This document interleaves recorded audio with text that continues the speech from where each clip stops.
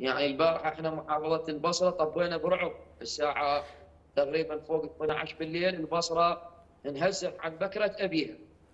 وكأنما قاعدين بغابة مو محافظة البصرة. صواريخ يعني الوضعية كلش البارحة خربت في محافظة البصرة. هاي الأوضاع يعني هاي أم تأثر على التربية تأثر على غير أبسط شغلة هسه راح يجوز احتمال يتأجل الدوام في محافظة البصرة على ضوء هاي الأوضاع اللي جاية تصير.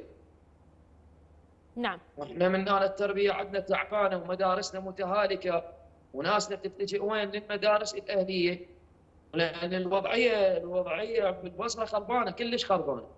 نسولف على المدارس نجي على فقرة المدارس المدارس تعرفين أغلب المدارس في محافظة البصرة متهالكة.